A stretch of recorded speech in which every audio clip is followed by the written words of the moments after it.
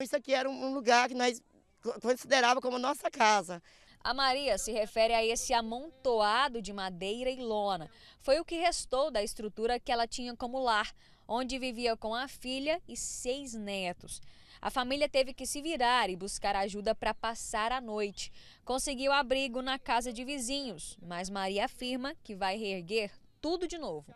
Nós vai continuar aqui, nós vai levantar aqui no mesmo lugar, porque eu não tenho condições, eu não tenho moradia. Assim como no caso de Maria, os barracos de pelo menos outras 30 famílias foram derrubados por uma patrola a serviço da Prefeitura de Aparecida de Goiânia é que foi feita uma desapropriação do espaço, que é uma área de invasão, no setor Independências Mansões. Foi um desespero só. Nós quase não tem para comer, nós gastamos para poder morar e o povo vem arrancar tudo. A ação contou com guardas civis municipais e policiais militares. Essa é a segunda vez que as famílias são desalojadas aqui dessa área. Segundo a Prefeitura de Aparecida de Goiânia, esse terreno é parte privado e parte público e integra a área de preservação ambiental Serra das Areias e por isso são proibidas as edificações. Só que quem escolheu esse lugar para chamar de lar está aqui porque não tem para onde ir. Essa é a situação da maioria dessas famílias. Muitos homens e mulheres que vivem aqui estão sem emprego e não têm dinheiro para pagar o aluguel. A saída foi encontrar um canto, mesmo sem condições mínimas de sobrevivência. A gente é desempregado.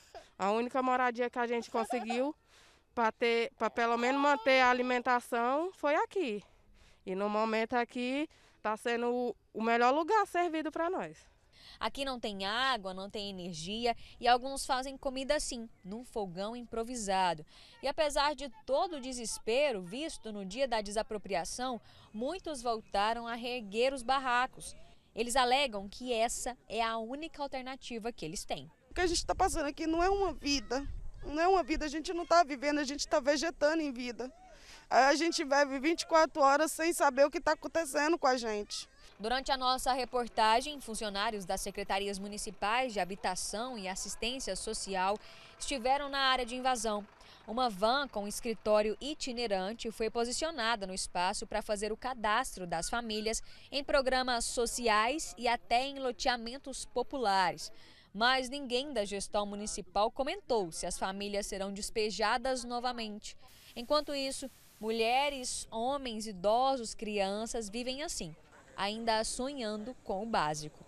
O que eu espero aqui é todo ter lá uma casa, um lugar para brincar, aqui falar que é meu, aqui eu consegui, aqui é meu sonho.